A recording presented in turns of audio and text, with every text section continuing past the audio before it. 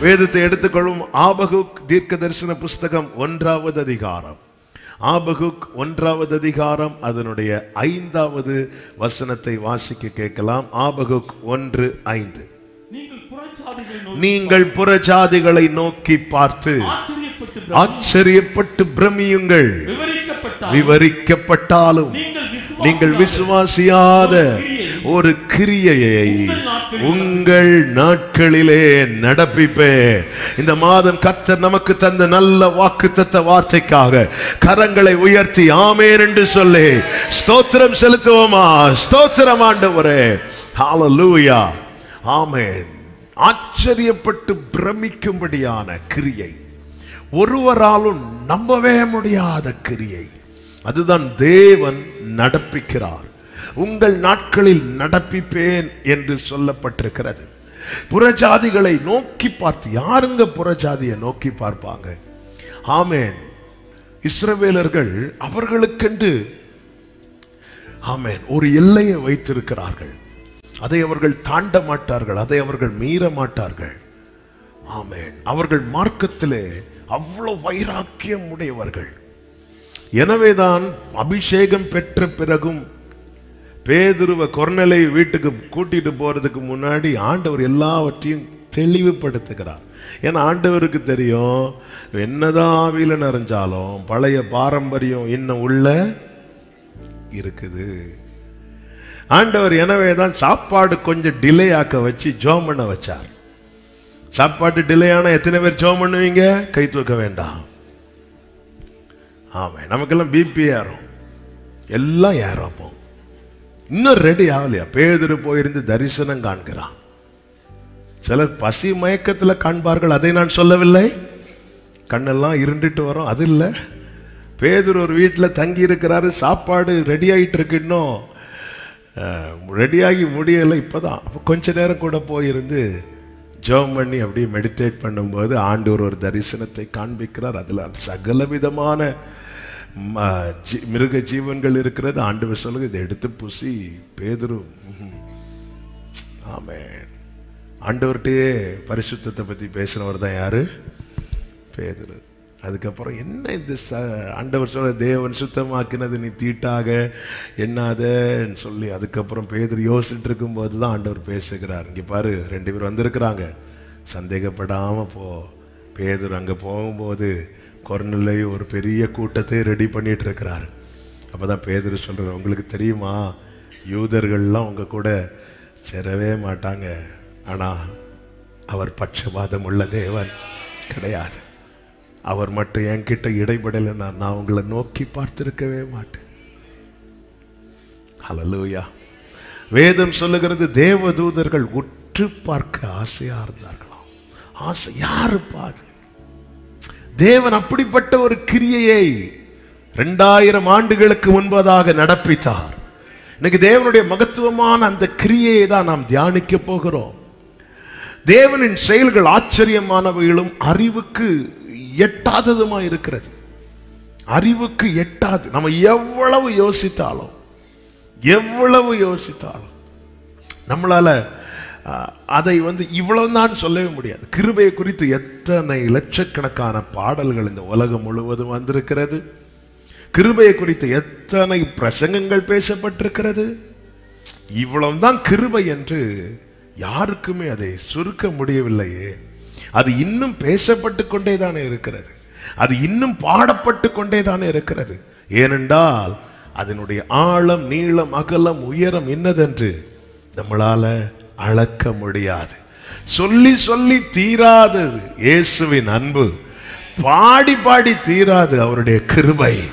சர்வ லோகத்துக்கும் அவரே தேவன். சர்வ லோகத்துக்கும் அவர் தேவனாய் இருந்தும் கிறிஸ்து வெளிப்படும் வரைக்கும் அவர் இஸ்ரவேலின் தேவனாக மாத்திரமே அறியப்பட்டார். ஆபிரகாமின் தேவனாய் அறியப்பட்டார். ஈசாக்கின் தேவனாய் அறியப்பட்டார். யாக்கோவின் தேவனாய் அறியப்பட்டார். இஸ்ரவேலின் தேவனாய் அறியப்பட்டார். அவர் நமக்கும் தேவனாய் அறியப்படும்படிக்கு. யாக்கோபு ஆபரகாம் ஈசாக்கு யாரை தெய்வமாய் கொண்டார்களோ அவரை நாமும் தெய்வமாய் கொள்ளும்படிக்கு. அவர்கள் யாரை பிதா என்று அழைத்தார்களோ அவரை நாமும் அப்பா என்று அழைக்கும்படிக்கு.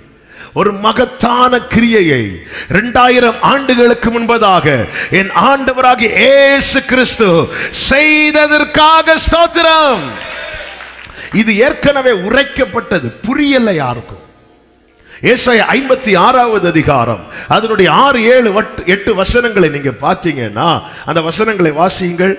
கத்தரை சேவிக்கவும் கர்த்தருடைய நாமத்தை நேசிக்கவும் அவருக்கு ஊழியக்காரராக இருக்கவும் கத்தரை சேவிக்கவும்.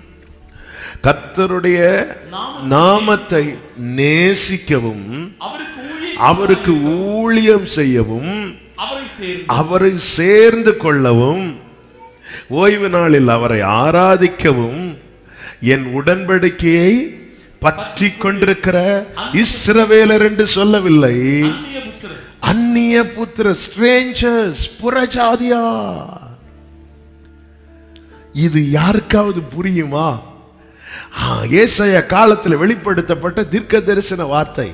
அவர்களுக்கு தெரிந்த வரைக்கும் கத்தரை யார் சேவிக்கணும்? கத்தருக்கு யார் ஊழியம் செய்யணும்? லேவியர் சேவிப்பார்கள். இஸ்ரவேலர் சேவிப்பார்கள். அவருடைய நாமத்தை அவர்கள் தான் நேசிப்பார்கள். அவருக்கு ஊழியம் லேவியர் தான் செய்வாங்க. ஆராதனை இஸ்ரவேலர் தான் செய்கிறவர்கள். இதெல்லாம் இஸ்ரவேலருக்கு மாத்திரமே உரியதா இருக்கும்போது ஏசையா தீர்க்கதரிசி தேவனுடைய சமூகத்தில் தேவ மகிமையை கண்டவன் சிங்காசனத்தில் வீற்றிருக்கிறவரை கண்டவன் தேவ சத்தத்தை கேட்டவன் யார் போவாய் நமது காரியமாய்? ஆண்டவருடைய அழைப்பின் ஏக்கத்தின் குரலை கேட்டு அர்ப்பணித்தவனுக்கு வெளிப்படுத்தப்படுகிறது. இஸ்ரவேலர் மாத்திரம் நேசித்து இஸ்ரவேல் மாத்திரம் ஆராதித்து இஸ்ரவேலர் மாத்திரம் சேவித்து கொண்டிருந்த அவரை இப்போ அந்நிய புத்திரர். யாருங்க அந்த அந்நிய புத்திரர்? நீ கொஞ்சம் முன்னாடி பிதாவான என் தெய்வமே என்று அழைத்தோமே. நம்மை குறித்துதான் நம்மை குறித்து தீர்க்க தரிசனம் உரைக்கப்பட்டிருக்கிறது. ஆமீன் சொல்லுங்க பார்க்கலாம். அந்த அந்நிய புத்திரர் நாமதான் கத்தர் என்ன செய்கிறார்? எட்டாவது ஆறாவது ஏழாவது வசனத்துல நான் என் பரிசுத்த பர்வதத்திற்கு கொண்டு வந்து கொண்டு வந்து என் ஜெப வீட்டிலே மகிழ பண்ணுவேன். நான் கொண்டு வந்து. இந்த காலை வேளையில எத்தனை பேருக்கு சொல்ல முடியும்? கர்த்தர் என்னை கொண்டு வந்தா நம்மை குறித்த தீர்க்க தரிசன வார்த்தை. இது ஏசாயாவுக்கு தெரியாது யார சொல்றாருன்னு. ஆனா ஏசாயா வாயா இருந்து சொல்ற அவ்வளவுதான். ஒன்று பேதுரு ஒன்றாவது அதிகாரத்தில் ஒரு அருமையான வார்த்தை சொல்லப்பட்டிருக்கிறது பாருங்கள். ஒன்று பேதுரு ஒன்றாவது அதிகாரம். அதனுடைய பத்து முதல் பனிரெண்டு வரை உள்ள வசனங்களை நீங்கள் உங்களுக்கு உண்டான கிருபையை குறித்து தீர்க்க தரிசனம் சொன்ன தீர்க்க தரிசிகள் இந்த ரட்சிப்பை குறித்து உங்களுக்கு உண்டான கிருபையை குறித்து யார் தீர்க்க தரிசனம் சொன்னாங்க? ஏசாயாலாம் இருக்கிறார்கள் அவருக்கு தெரியல இது யாருக்கு சொல்லப்பட்டது? இஸ்ரவேலருக்குன்னு அந்நிய புத்தர்ன்னு சொல்ல மாட்டாரே. ஏசையா ஒன்பதுல இருக்கிறது ஏசையா ஒன்பதாவது அதிகாரத்துல கலிலேயாவில் உள்ள புறஜாதியார் என்று சொல்லப்பட்டிருக்கிறது. யார் அது? புரியல. அவர் இஸ்ரவேலின் தேவனாய் மாத்திரமாய் எல்லாம் அறியப்பட்டு கொண்டிருந்தார். இந்த எல்லையை தாண்டி தீர்க்க தரிசனம் வருகிறதே. நல்ல கவனமா கேளுங்க. நாம எங்கேயோ இருக்கிறோம். அந்நியர். தேவராஜ்யத்துக்கு சத்துருக்கள் தேவனற்றவர்கள் நம்பிக்கை இல்லாதவர்கள். ஆனா நமக்கு ப்ராஃபசி ஏசாயாவை வச்சு சொல்லி இருக்கிறார் நம்ம அதை பார்க்காம இப்ப யாராவது சொல்லுவாங்களான்னு ஓடிட்டு இருக்கிறோம். எனக்கெல்லாம் ப்ராஃபசி எங்க அப்பா ஏசாயாவை யூஸ் பண்ணி இருக்கிறார் தானியலை யூஸ் பண்ணி இருக்கிறார் எரேமியாவை யூஸ் பண்ணி இருக்கிறார் இந்த வேதத்தில் உள்ள தீர்க்க தரிசிகளை கர்த்தர் எனக்காக தீர்க்க தரிசனம் உரைக்க ஜீசஸ் நீங்க அடுத்து கீழே படிங்க பத்தாவது வசனம். பதினொன்றாவது வசனம். நல்ல கவனிங்க தங்களில் உள்ள கிறிஸ்துவின் ஆவியானவர். கிறிஸ்துவுக்கு உண்டாகும் பாடுகளையும் அவைகளுக்கு பின்வரும் மகிமைகளையும் முன் அறிவித்த போது இன்ன காலத்தை குறித்தார் என்பதையும் என்பதையும் அவர்கள் ஆராய்ந்தார்கள். பண்- தங்- நல்ல கவனமா கேளுங்க. தங்கள் நிமித்தம் அல்ல. நமது நிமித்தமே இவைகளை தெரிவித்தார்கள் என்று கைகளை உயர்த்தி ஆமேன்னு சொல்லுங்க பார்க்கலாம். தங்கள் நிமித்தம் என்றால் அந்த காலத்தில் வெளிப்படுத்தப்பட்டிருக்கணும். இல்லை நமது நிமித்தம். அதனால தான் ஆண்டவர் பயங்கரமா பேசுறீங்க. ஏசையா ஆராய்ந்து பார்க்கறாரு. ஆளை காண்டல இறைவி ஆராய்ந்து பார்க்கறாரு. எல்லாரும் ஆராய்ந்து ஆராய்ந்து பார்த்துட்டு காணாமல் போயிட்டாங்க. அப்போ எதுக்கு இந்த ப்ராஃபஸி ஒரு சந்ததி அவரை சேவிக்கும். தலைமுறை தலைமுறையா. அது ஆண்டவருடைய ஆ, அது அந்த அந்நிய புத்திரன் அதான் நீங்க புறஜாதிகள் அதுக்கு கீழே வாசிங்க. ஆமே அதே வசனம் பன்னிரண்டு பிற்பகுதி. உங்களுக்கு சுவிசேஷத்தை இவைகளை இப்பொழுது உங்களுக்கு அறிவிக்கப்பட்டு வருகிறது. இவைகளை உற்று பார்க்க. தேவதூதரும். இந்த பூமியில யாராவது உங்களை உற்று விரும்பி பார்ப்பாங்களாங்க? ஆனால் ரட்சிக்கப்பட்ட அன்பு சகோதர சகோதரி உங்களுக்கு ஒரு நற்செய்தி சொல்லவா? பரலோகத்தின் தூதர்கள் அவருடைய மனவாட்டியாகிய உங்களை ஆசையா ஆசையா பார்க்கறாங்க. அலலுயா அலலுயா அதனால உலகம் பார்க்க மேக்கப் போடாதீங்க. பரலோகம் பார்க்க பரிசுத்தம் என்கிற மேக்கப் போடுங்க. அலலுயா பரிசுத்த அலங்காரத்துடனே ஏன்னா தூதர்கள்லாம் உற்று பார்க்க தேவதூதர் அப்படி பார்க்குறாங்களாம். பார்த்துட்டு ஐயே அப்படி சொல்லக்கூடாது. ஆமே நம்ம எல்லாம் இன்னைக்கு யார் உற்று பார்க்கணும்னு உலகம் உற்று பார்க்க? எத்தனை பெயிண்டுட்டப்பா உங்களை சொல்லலை குத்துதுன்னா உங்களை தான் உட்கார வச்சு சொல்லிட்டு இருக்கிறேன். ஆமே ஹalleluya ஆமே ஏ ஒன்னெல்லாம் இப்படி போனா யாரு பாப்பாங்க ஏய் ஒரு கூட்டம் என்ன அப்படி?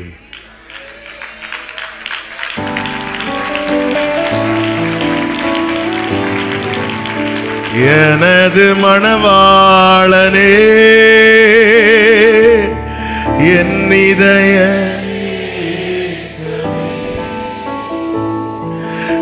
இனியவர்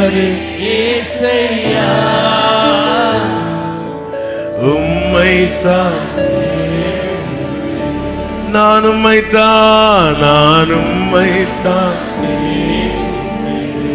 ஹalleluya எனவேதான் இயேசுவை குறித்த தீர்க்க தரிசனம் இப்படி சொல்லப்பட்டிருக்கிறது. ஏசாயா நாற்பத்தி ஒன்பதாவது அதிகாரம் அதனுடைய ஆறாவது வசனத்துல யாக்கோபு யாக்கோபின் கோத்திரங்களை எழுப்பவும் திருப்பவும் வெறும் இஸ்ரவேலரை மட்டும் மீட்கிறதற்காக நான் உம்மை ஜனிப்பிக்கவில்லை. மாறாக நீர் பூமியின் கடைசி பரியந்தமும் என்னுடைய ரட்சிப்பா இருக்கும்படி உம்மை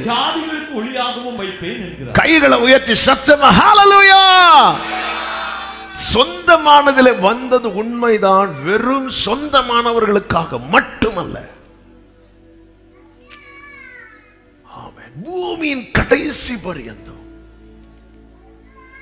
சில நேரத்தில் பழைய ஆபிரகாம் ஸ்டோரியெல்லாம் வீடியோ இருக்குல்ல பார்க்கும்போது நமக்கு தோணும் நம்ம இஸ்ரேவேலில் பிறந்திருந்தா. பிறந்திருந்தா எத்தனை பேர் வனாந்தரத்தில் அவுட் ஆயிருப்போம்னு தெரியாது அதை விட்டுருங்க. நமக்கு இப்படியெல்லாம் தோணும். ஏங்க தேவன் நம்மை எங்கே பிறக்க வைத்தாரோ அதற்காக ஸ்தோத்திரம்.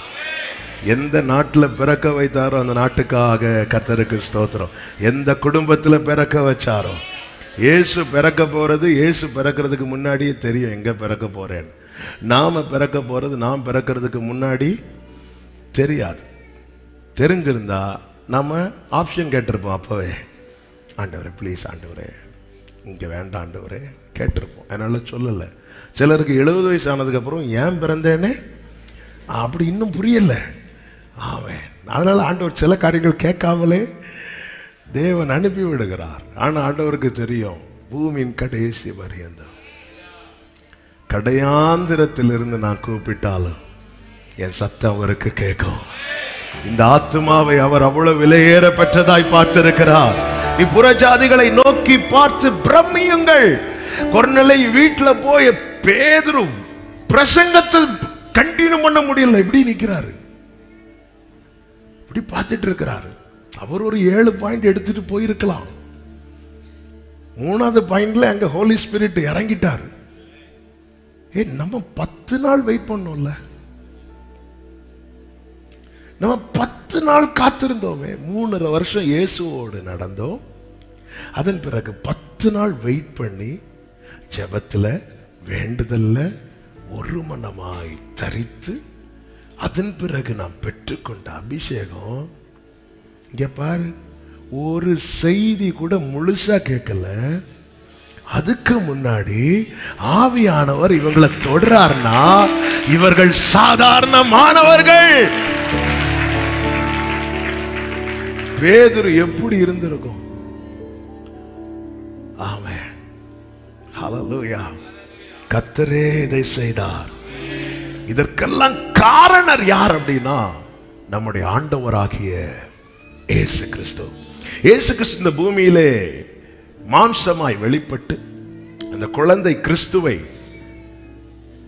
தாயாகிய மரியாளும் யோசேப்பும் சுமந்து கொண்டு தேவாலயத்துக்கு வருகிறார்கள். அங்கே சிமியோன் என்கிற தேவ மனிதர் இருக்கிறார். அவருக்கு ஏற்கனவே பரிசுத்தாவினால் உரைக்கப்பட்ட தீர்க்க தரிசனம் என்னவென்றால் கிறிஸ்துவை காணும் முன்னே நீ மரணம் அடைய மாட்டாய். என கேட்டுக்கொண்டிருக்கிற அன்பு சகோதரா சகோதரி நமக்கு ஒரு வார்த்தை நம் கண்கள் காணும்படிக்கு கர்த்தர் உரைத்தது உண்டானால் இந்த தீபம் அணையாமல் காப்பது கர்த்தருடைய உண்மையும் கர்த்தருடைய கிருபையும்.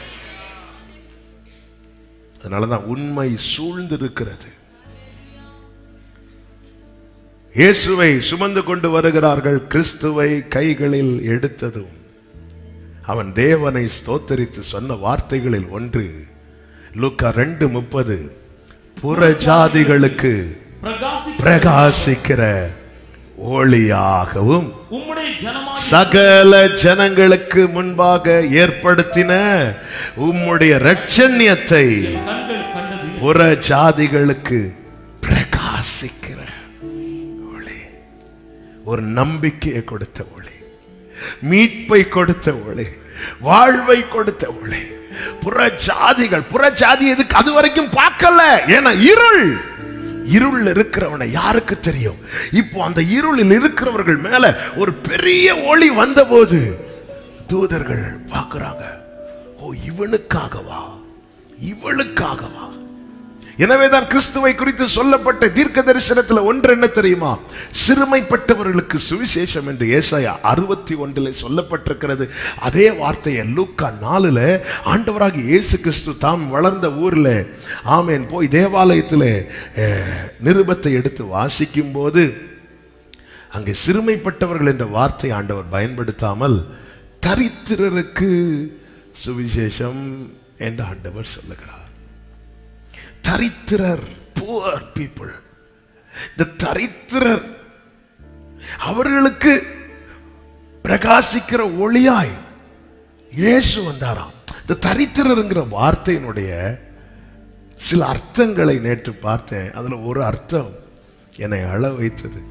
என்ன அர்த்தம்னா எல்லாத்திலையும் குறை உள்ளவன். எப்படி? எல்லாத்திலையும். அதாவது சிலர் வந்து ஒன்ல மேக்ஸ்ல வீக்கா இருப்பாங்க பிசிக்ஸ்ல ஸ்ட்ராங்கா இருப்பாங்க. சிலர் தமிழ்ல ஸ்ட்ராங்கா இருப்பாங்க இங்கிலீஷ்ல வீக்கா இருப்பாங்க. படிக்கிற பிள்ளைகளுக்கு சொல்கிறேன் ஆனா என்ன மாதிரிப்பட்ட ஆட்கள் எல்லாத்துலயும்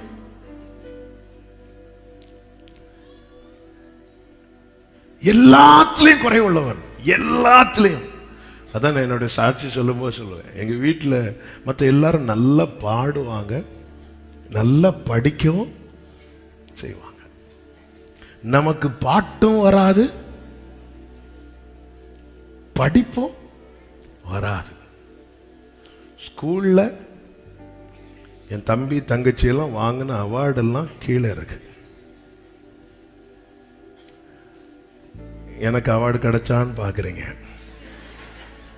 எனக்கு டிசி கிடைச்சதே பெரிய விஷயமா? நான் பார்க்கிறேன். எல்லாத்துலயும் குறை உள்ளவன்.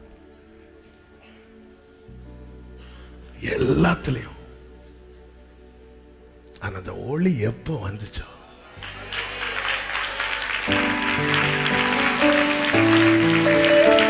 இயேசுவே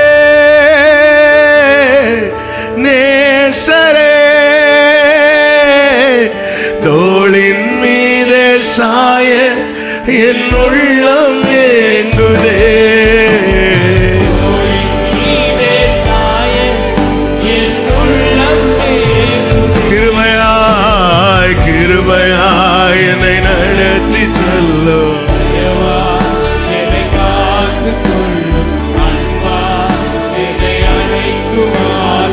ஹalleluya எல்லாத்துலயும் அதனாலதான் ஆண்டவர் சும்மா சிறுமைப்பட்டவர்கள்னா இஸ்ரவேலர்கள்.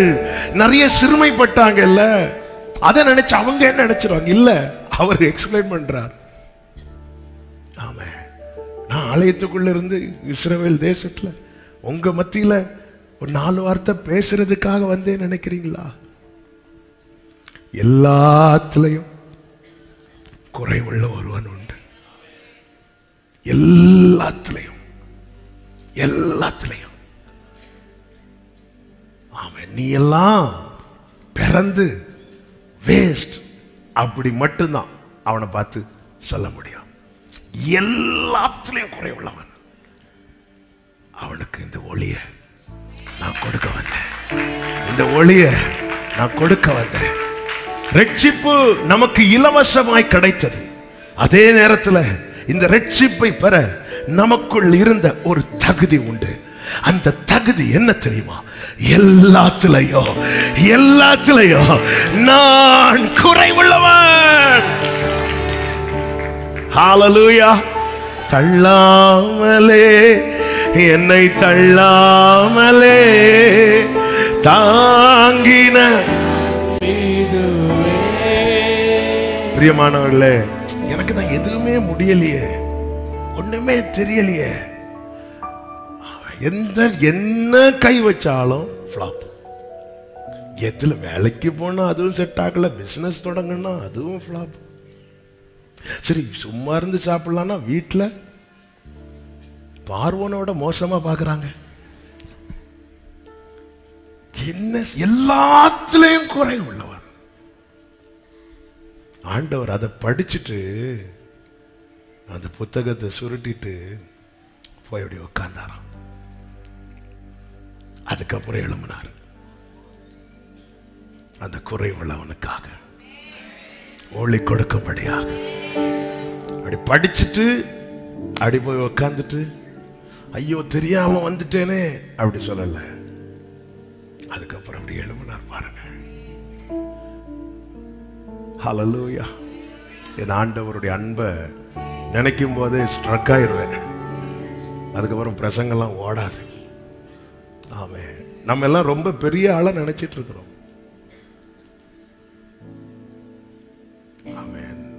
அந்த ஒளி என் மேல படுறதுக்கு முன்னாடி எத்தனை பேர் என் கூட சேர்ந்து சொல்ல முடியும்? நான் எல்லாத்துலயும். அந்த தரித்திரன் நான் தான் அந்த தரித்திரன் நான் தான்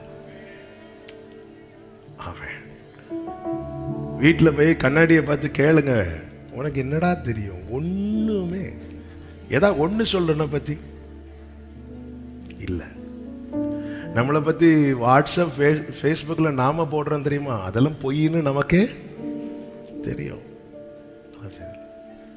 பி- திரும்பி இருந்து அழுதுட்டு இருப்போம் கேமரா பார்த்ததும் சிரிப்போம். நம்ம தெரியும். உனக்கு என்ன? நீ எல்லாத்துலேயும். இந்த தரித்திரர் தரித்திரன் பார்த்தோன்னா நம்ம நினைவில் என்ன தெரியுமா? அப்படி வழியில எல்லாம் உட்கார்ந்துருப்பாங்கல்ல அவர் வரலன்னா நீ எந்த வழியில உட்காந்துருந்திருப்ப நீ எந்த பாதையில் இருந்திருப்ப? நீ குற்றுதலாய் விடப்பட்டவன் தானே. இதோ நான் உன் அருகே கடந்து வந்த போது மிதிக்கப்படுவதற்கு ஏதுவாய் உன் ரத்தத்தில் கிடந்த உண்மை பார்த்து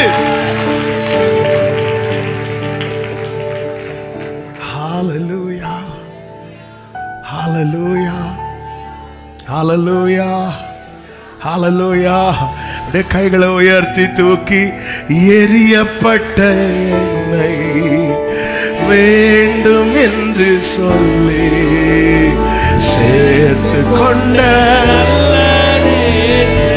ஆமே தூக்கி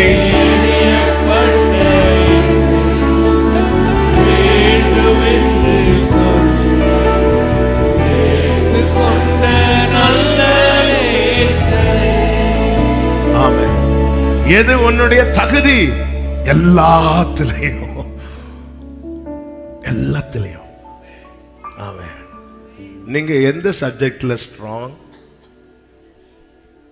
சப்ஜெக்ட்னாலே எங்களுக்கு காய்ச்சல் வந்துடும் ஆமாம் நாங்கள் எல்லாத்துலேயும் வேக் அப்படி எல்லாத்துலேயும் குறைவுள்ளவனாக இருந்தபோது எல்லாவற்றையும் எல்லாவற்றாலும் நிரப்புகிற என் தேவன் தம்முடைய முகத்தின் வழிய.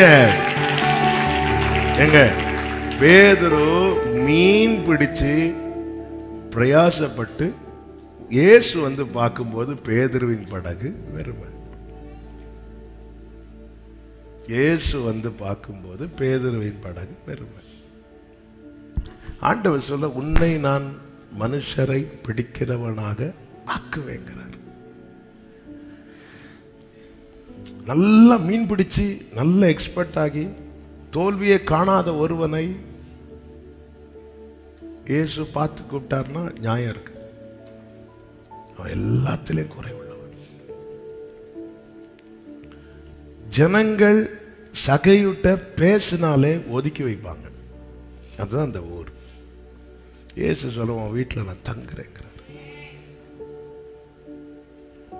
பொதுவாகவே தண்ணீர் எல்லாரும் காலையில் சாயங்காலம் தான் எடுப்பாங்க. ஆனால் ஒருத்தி பன்னெண்டு மணிக்கு நண்பகல் நேரத்தில் எடுக்க போகிறாள் ஏன்னா காலையில் தண்ணி எடுக்க போனால் ஒதுக்கிடுவாங்க அவளை. மத்தியானம் தண்ணீர் எடுக்க போனாலும் ஒதுக்கிடுவாங்க யாரும் இல்லாத நேரத்தில் வெயில் நேரத்தில் ஒரு சமாரிய ஸ்திரீ தண்ணீர் எடுக்க போகிறா ஏசு பேசுகிறார் நீ ஆராதிப்பேங்கிறார். அவையோடு உண்மையோடும். எல்லா இடத்துலையும். எல்லாத்திலையும் குறை உள்ளவர்கள். குறைவுள்ள பாத்திரம் குறைவுகள் நீக்கி கருவையால் பயன்படுத்தும். குயவன் நீ களிமண் நான்.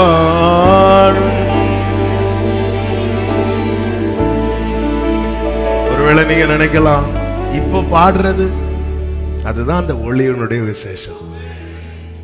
ஸ்கூல் படிக்கும்போது ஒரு அவார்டு கூட வாங்கல. பாஸ் ஆறதெல்லாம் ஒரு பெரிய ஏழு கடலை தாண்டுவதை போல எக்ஸாமுக்கு முந்தின நாள் டென்ஷன் ஆகுறோமோ இல்லையோ ரிசல்ட்டுக்கு முந்தின நாள். இரவெல்லாம் அப்படி ஊக்கமான ஜபமாக தான் இருக்கும்.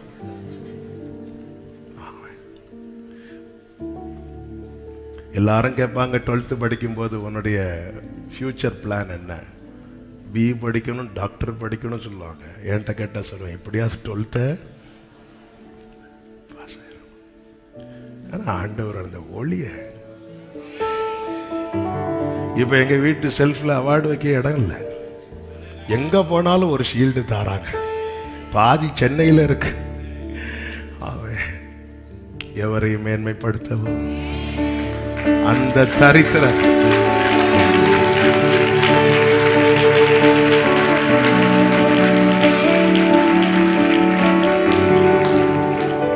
என்னால் என்ன செய்ய முடியும் என்று நான் யோசித்ததில்லை.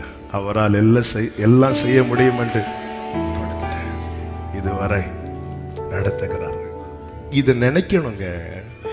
இதை நினைச்சாதான் எல்லாத்துக்கும் நம்ம அவரை பார்ப்போம். நம்ம இதை மறந்துடுறோம். இந்த சுவிசேஷம் என்ற வர்றதுக்கு ரீசன் நான் தரித்திரன். நம்ம இஸ்ரவேலரா? ஆபரகாமுக்கு நம்மள தெரியுமா? ஏதாவது ஒரு கோத்திரத்துக்கு உட்பட்டவர்கள் இல்லையே. அப்ப எப்படி இந்த சுவிசேஷம் வந்துச்சு? தரித்திரன்.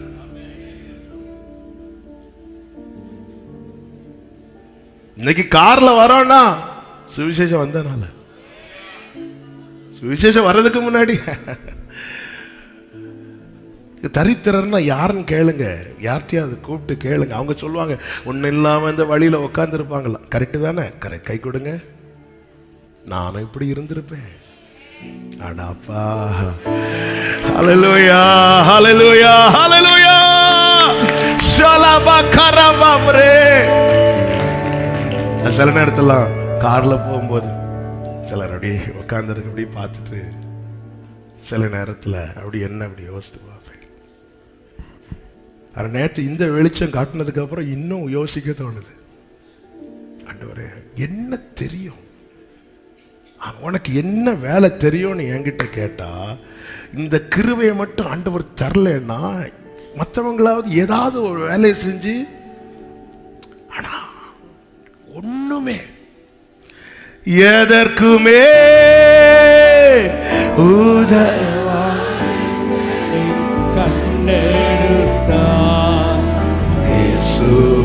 நன்மை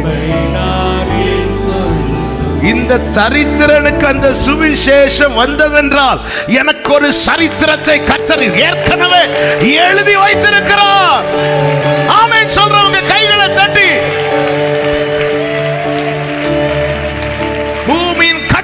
வரம் கடையாந்திரம். தேடி வந்தாருங்க. தேடி வந்து தேடி வந்து தேடி வந்து. உங்க அட்ரஸை கொஞ்சம் நினைச்சு பாருங்க. நீங்க எங்க பிறந்தீங்க எங்க வளர்ந்தீங்க. ஹalleluya எனக்கு தெரிஞ்ச ஒரு சில சகோதரர்கள் இருக்கிறாங்க. ஹோ ஹோம்ல வளர்ந்துருக்கிறாங்க. ஆர்ஃபனேஜில் வளர்ந்துருக்கிறாங்க. வளர்ந்து இருக்கிறாங்க இன்னைக்கு ஆண்டவர்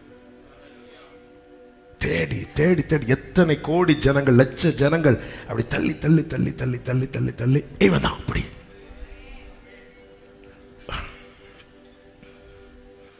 ஆமே இதான் புறஜாதிகளை பார்த்து பிரமியுங்கள்.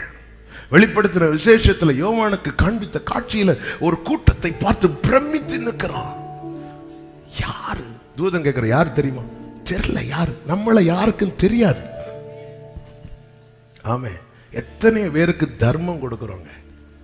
ஒரு ஆளுக்கு பேராவது தெரியுமா? ஏன்னா நம்ம பார்வையில் அவங்க தரி கொடுப்போம். ஆயிரம் ரூபாய் வரை கொடுப்போம். ஆனால் ஒரு ஆளுக்கு பேர் தெரியுமா? தெரியாது. ஆனால் அவர் இருக்கார்ல உன்னை நான் பெயர் சொல்லி அழைத்து அறிந்திருக்கிறேன். வழியருகே உட்கார்ந்து இருக்கிற குருடனுக்கு பேரை எழுதுகிறார் பர்த்திமை எழுது. என்னங்க இது? எழுது அவனை.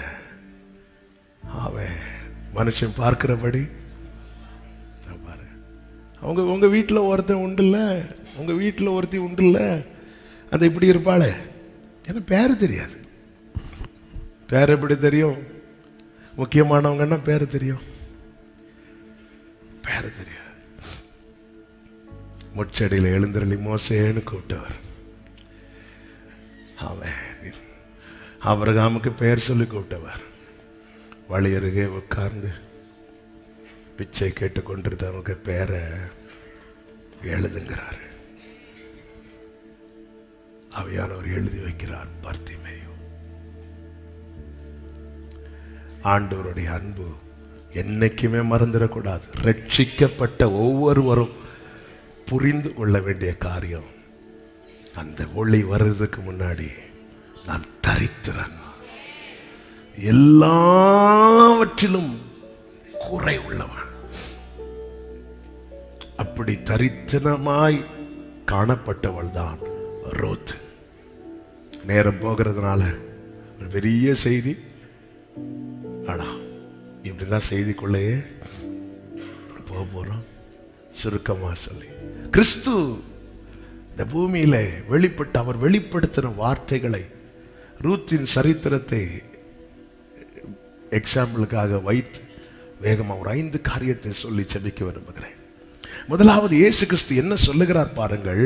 யோவான் பத்து பதினாறுல யோவான் சுவிசேஷம் பத்தாவது அதிகாரம் பதினாறாவது வசனத்திலே இந்த தொழுவத்தில் உள்ளவைகள் அல்லாமல். எல்லாரும் சொல்லுங்க. யார் அந்த வேற ஆடு? தொழுவத்தில் உள்ளதுக்கெல்லாம் நம்பர் உண்டு. நூறுல ஒரு ஆடு காணாமல் போனால். நம்ம எல்லாம் தான் நூற்றுல ஒண்ணுன்னு நினைச்சிட்டு இருக்கிறோம். ரைட் அதுல சொல்றது தப்பு கிடையாது. ஆனா நம்ம அந்த லிஸ்ட்லயே இல்லாத ஆடு. எல்லாரும் சொல்லுங்க நான் லிஸ்ட்லயே இல்லாதவன். அவர் லிஸ்ட்ல இருக்கிறேன் வேற ஆடு. எனக்கு உண்டு. எப்படி சொல்றார் பாருங்க எனக்கு உண்டு. வேற ஆடுகள். அவைகளையும் நான் அவைகள் வரும் என்று சொன்னாரா? அவைகளையும் நான் கொண்டு வர வேண்டும் என்று சொன்னாரா? அப்ப அவர் கொண்டு வந்தால் மட்டும்தான் முடியும். கிறிஸ்து இந்த பூமியிலே மனுஷகுமாரனாய் வெளிப்பட்டதற்கு பின்பு பிறந்த புறஜாதியார் அனைவரும் பாக்கியவான்கள். ஹalleluya. அந்நிய புத்திரர் கொண்டு வர வேண்டும். மோவாப் ஸ்திரீ தான் ரூத்.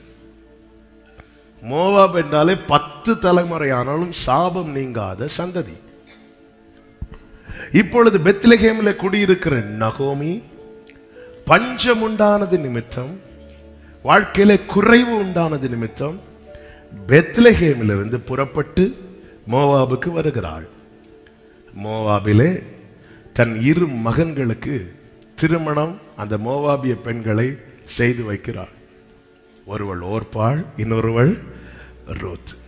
நகோமியின் கணவன் மறிக்கிறான் நகோமியின் இரண்டு குமாரர்களும் மறிக்கிறார்கள் அதன் பிறகு நகோமி மோவாபிலிருந்து பெத்லகேமுக்கு புறப்படும் போது ஓர்பாள் நகோமியை கட்டி அணைத்து முத்தமிட்டு திரும்பி போறா.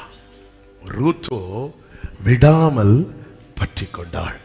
அந்த ரூத்தை நகோமி கொண்டு வருகிறாள் பெத்லகேமுக்கு. அழைத்து கொண்டு வருகிறாள். ஒருத்தங்க அழைத்து கொண்டு வராம இந்த ரூத்துக்கு பெத்லகேமுக்குள்ள எண்டராகவே முடியாது. அவள் மோவாபிய ஸ்திரீ என எல்லாருக்கும் தெரியும். அவளை யாராவது பார்த்து கை நீட்டுனா அவள் உடனே யாரை கை கட்டுவானா நகோமிய. அவங்க தான் அவங்க தான் கொண்டு வந்தாங்க. அவங்க தான் கொண்டு வந்தாங்க.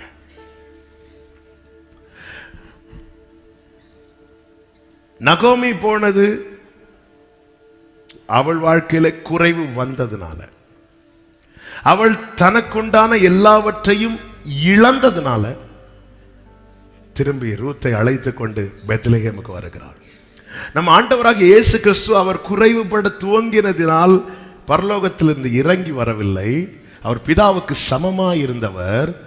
வேதம் சொல்லுகிறது அவர் தம்மை தாமே வெறுமையாக்கி வந்தார். வெறுமையாக்கி வந்தார். சேரக்கூடாத ஒளியில் வாசம் பண்ணுகிறவர். அவர் நடந்து போனால் மூப்பர்களுக்கு அவருக்கு முன்பாக இருக்க முடியாது தூதர்களுக்கு அவரை பார்க்க முடியாது. எல்லாரும் தங்களை மூடிக்கொள்ளுகிறவர்கள். ஆனா நாம நெருங்கி பழகணும். பயப்படாம அவர்கிட்ட ஓடி வரணும். அவர் பாதத்துல முத்தமிடணும். அவர் மார்பில் சாய்ந்திருக்க வேண்டும். அவர் கையை பிடிச்சு அழணும். அவர் கையை பிடிச்சு நடக்கணும். அவரோடு அவரை அண்டிக் கொள்ள வேண்டும் என்பதற்காக தம்மை தாமை வெறுமையாக்கி வந்தார். நம்மை அவருடைய சமூகத்தில் கொண்டு வந்து சேர்க்க ரூத் தனக்குண்டான எல்லாவற்றையும் இழந்தாள்.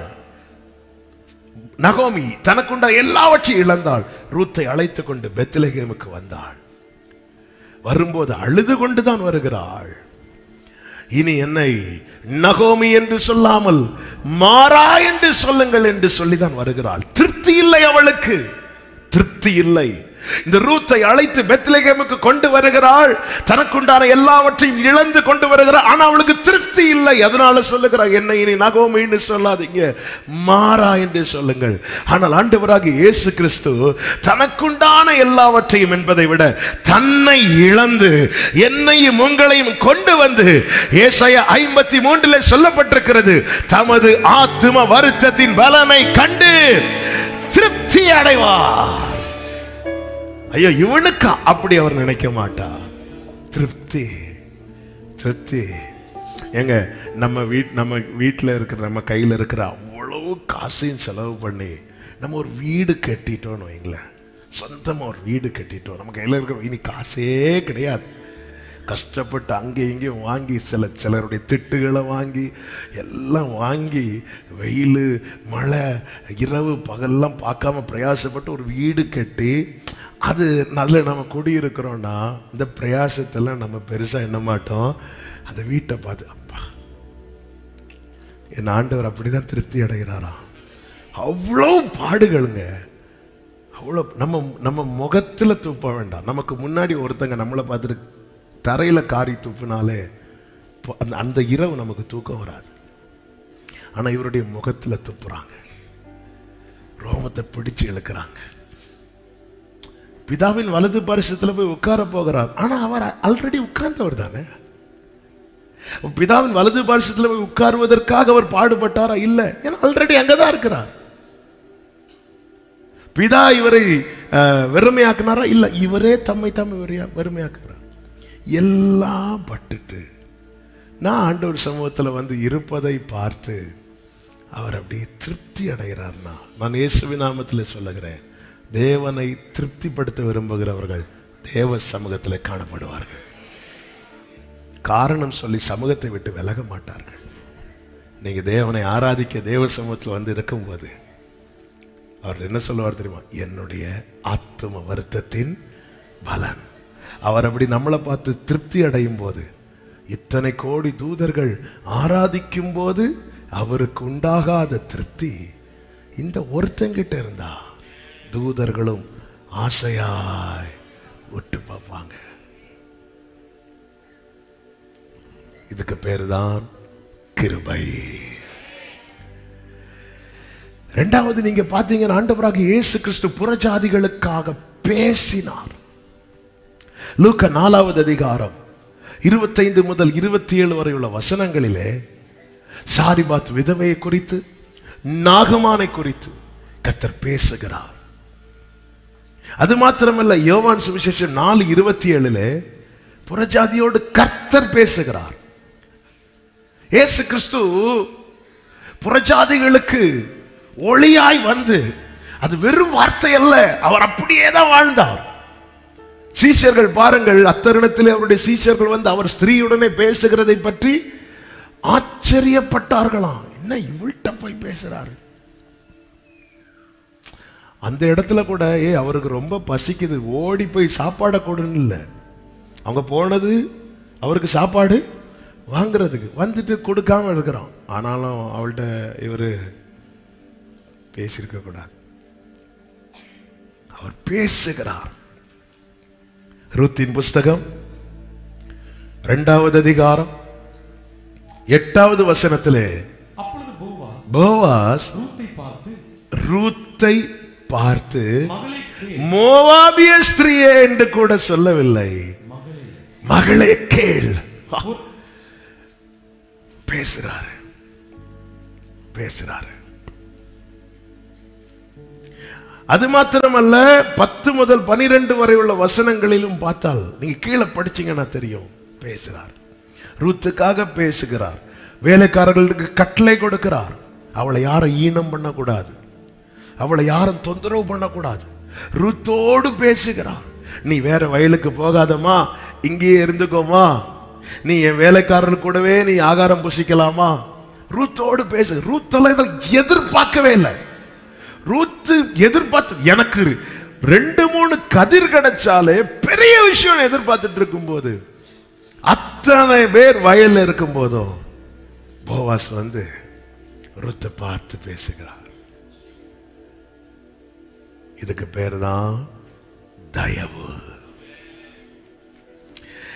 நமக்காக பேசுவதினால் தான் காக்கப்படுகிறோம். வேலைக்காரர்களுக்கு கட்டளை கொடுக்கிறார் நமக்காக பேசுவதினால் காக்கப்படுகிறோம்.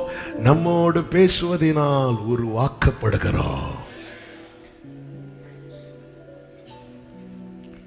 சமாரியா ஸ்திரீயோடு பேசினார் பாத்தீங்களா? பேசிட்டு இருக்கும்போதே அவள் உருவாக்கப்பட்டாள்.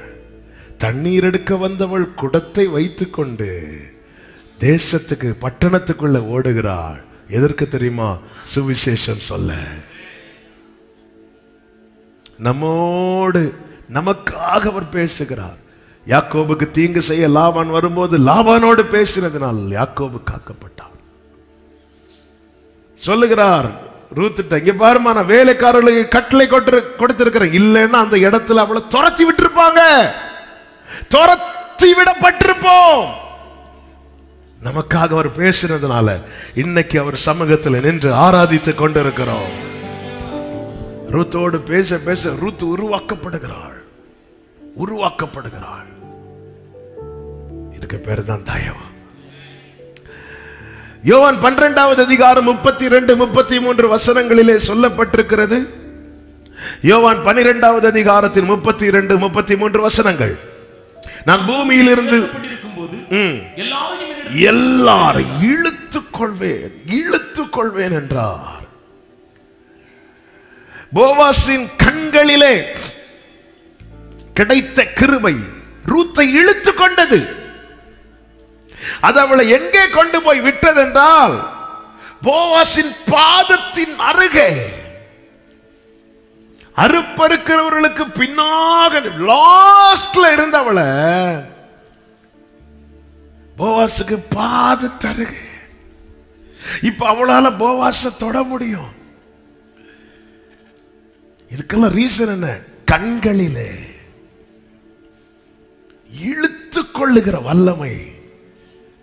இயேசு கிறிஸ்து சொன்னார் நான் உயர்த்தப்பட்டிருக்கும் போது எல்லாரும் என்னிடத்துல இழுத்துக் கொள்வேன்.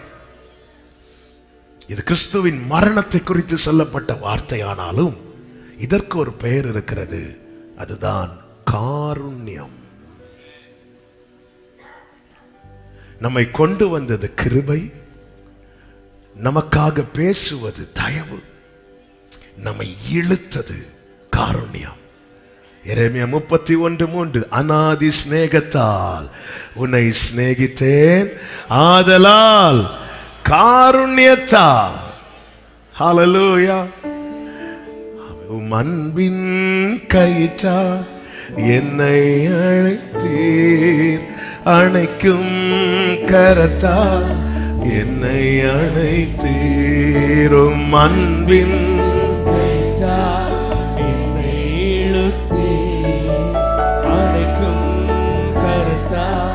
என்னை அடைத்து கைகளை உயர்த்தி எதற்குமே உதவாத என்னை தேடி.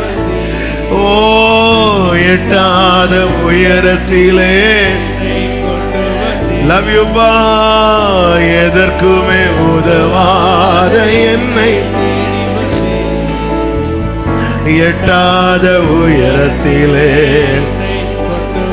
அலையா கண்மலையின் மறைவுக்குள்ளாய். ஓ கரத்தின் நிழலினாலே. இழுத்துட்டார் அப்படி இழுக்கிறார். இழுக்கிறார். குப்பையில் இருந்தே இயேசுவே உந்தன் கரத்தால் தூக்கி என்னுடைய கேள்வி அந்த கண்களை மட்டும் ரூத்து பார்க்காம இருந்திருந்தா அவ இப்படி வந்து பக்கத்துல இருந்து உட்காந்துருப்பா ஆமா அவருடைய காருண்யம் நம்ம இழுத்ததுனாலதான். எப்படிங்க முடியுது? ஆயிரம் பிரச்சனைகள் இருந்தாலும் ஆராதனை என்னதும் நல்ல கிளம்பி வந்து உக்காந்துருந்து இதுக்குள்ள வந்திருக்கிறவங்க எல்லாருமே சந்தோஷமான நிலையிலிருந்து வந்தவங்களாம் கேட்டால் கிடையாது. நம்ம நேற்று இரவு வரை கண்ணீர் வடித்து இன்று காலையில் வந்தவர்கள் உண்டு. கண்ணீரோடு இங்க வந்திருந்து ஏசு நல்லவர்னு பாடுறவங்களும் உண்டு. இது எப்படி சாத்தியாச்சு? ஒண்ணு இழுக்குது. தாவிதி சொல்ற நான் எங்க போவேன்பா? நான் பாதாளத்துல படுக்க போட்டால் உங்க கை என்ன பிடிக்குது? உந்தனின் அன்பின் அடை கைகளை உயர்த்தி அப்படி நன்றியோடு என்னை நீ நிறுத்தினே ரூத்து நினைச்சிருப்பாளா? நாளைக்கு நம்மளை நம்ம சரித்திரம் பேசப்பட போகுது. நீங்க அந்த புக்கை படிக்கும் போதே ரூத்தின் புஸ்தகம்ல எழுதப்படல. ரூத்தின் சரித்திரம். அவளுடைய ஆரம்பம் தரித்திரம். எப்போ போவாச மீட் பண்ணாலோ அதுக்கப்புறம் சரித்திரம். தரித்திரமா இருந்தோம். மீட் பண்ணிட்டாரு. இனி சரித்திரம் தான்.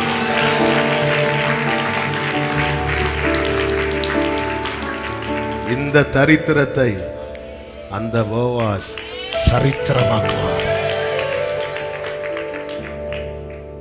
ஒரு வார்த்தை இருக்கு எசேக்கியல் இருபது பதினேழுல. நேரம் போயிட்டு ரெண்டு பாயிண்ட் சொல்லிட்டு விட்டுறேன். அப்பதான் ஒரு நிறைவு இருக்கும் இருபது ம். அவர்களை அழிக்காதபடிக்கு. என் கண் அவர்களை தப்ப விட்டது என் கண் அவர்களை தப்ப விட்டது தப்ப விட்டது என்ன வார்த்தைங்க? எப்படி தப்ப விட்டுருக்கோம் ஆமே எப்படி தப்ப விட்டுருக்கோம் சத்துரு நெருங்கும் போது இங்க இருந்து கண்ணு காட்டுவார் இப்படி. அவருடைய கண். அப்படி தரையில குனிந்து எழுதி கொண்டிருக்கிறவர் இப்படி பார்த்தார். ஒருத்தி எஸ்கேப் ஆயிட்டான். ஒரு க- இப்படி பார்த்துட்டு மீண்டும் எல்லாம் ஆண்டவர் நேற்று இடைபடும் போது எல்லாரும் நான் பேசுனதை ஒரு வார்த்தையை தான் பார்த்துட்டு இருக்கிறாங்க. ஆனா அவள் என் கண்ணை பார்த்துட்டா. இல்லை உங்களில் பாவம் இல்லாதவன் முதலாவது கல்லெறியட்டும். சொல்லி இப்படி இப்படி திரு- இப்படி பார்க்கும் கண்ணு பார்த்துட்டு. பார்க்க வேண்டிய நேரத்தில் மட்டும் அவர் பார்க்காம இருந்திருந்தா. இன்னைக்கு நாம பார்க்குற எதையுமே நம்ம பார்த்திருக்க மாட்டோம். என் கண் அவர்களை அதான் அந்த கிருபை. ஆமா இதுக்கு பேர் தான் காரண்யம். தேவனுடைய கிருபை தேவனுடைய தயவு தேவனுடைய காருண்யம்.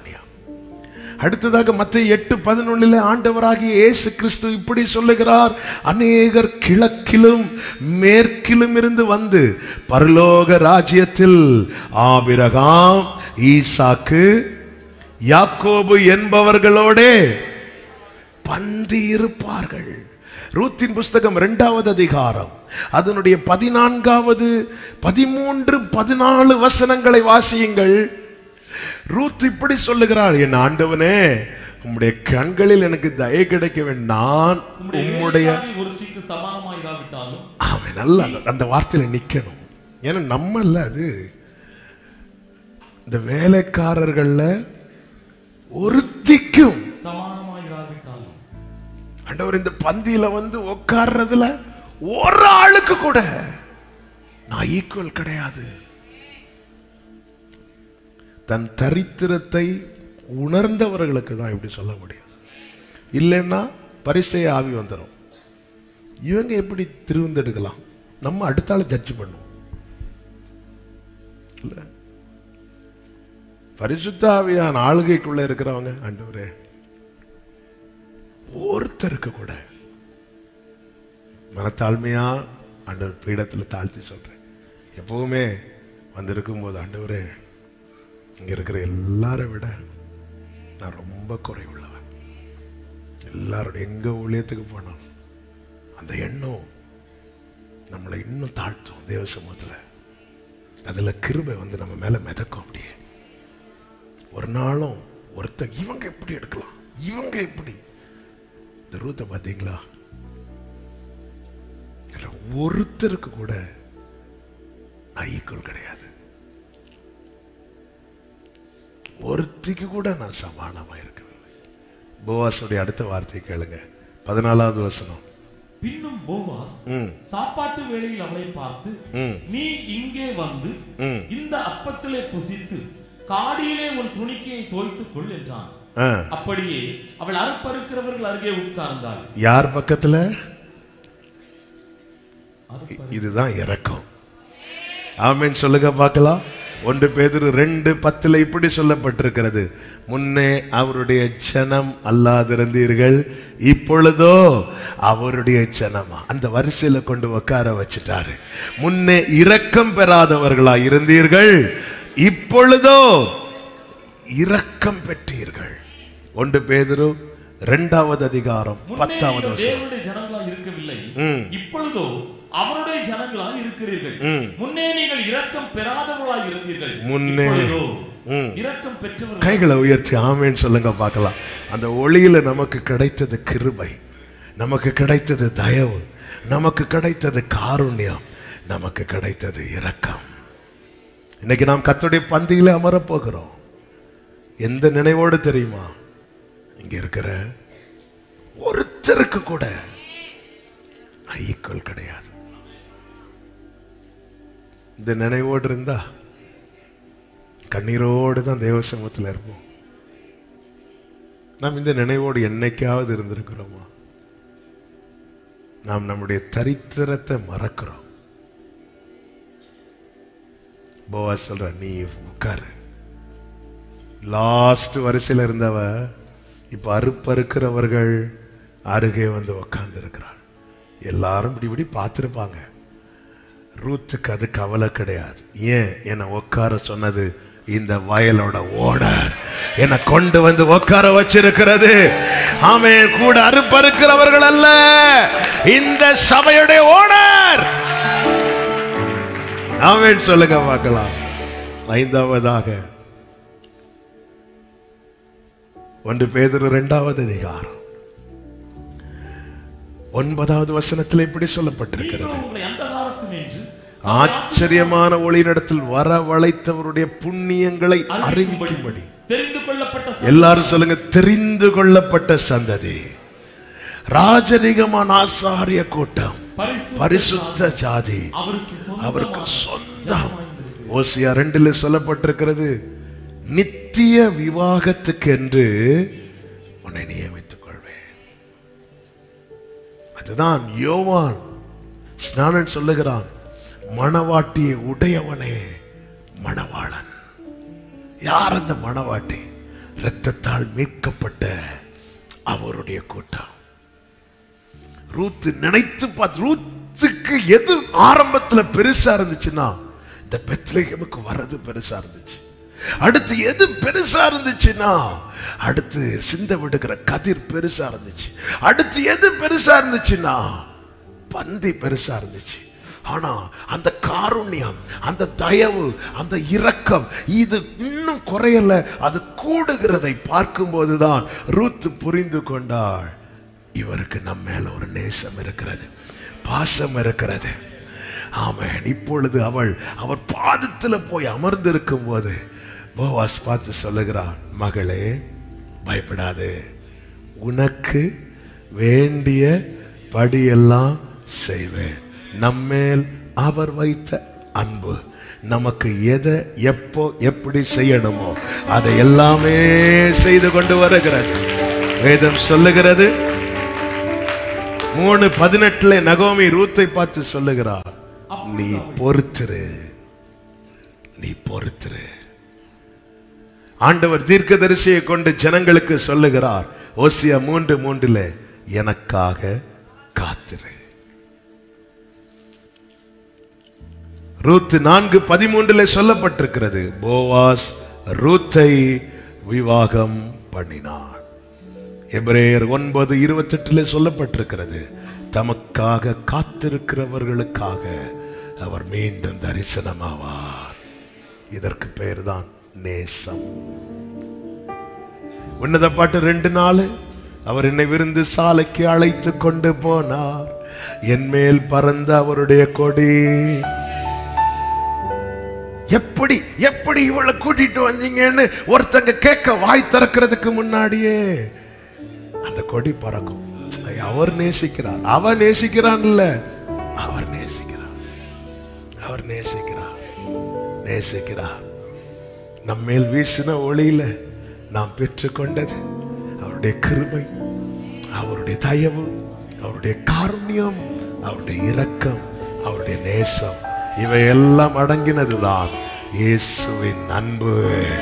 ஹalleluya இவ்விதமான சீரை பெற்ற ஜனம் பாக்கியம் உள்ளது கர்த்தரை தெய்வமாக கொண்ட ஜனம். ஆமென் சொல்றவங்க முழு பலத்தோடு கரங்களை தட்டு. ஹalleluya ஹalleluya அப்படியே கண்களை மூடி உந்தன் அடிமை நானையா என்னை காப்பாற்றும் கடமை உமக்கையா? உந்தன் அடிமை நானையா? என்னை காப்பாற்றும் கடமை உமக்கை போவாஸ் போவாஸ் போவாஸ். போர்வையால் இசையா உம் அன்பினால் ஏசையா. இசையா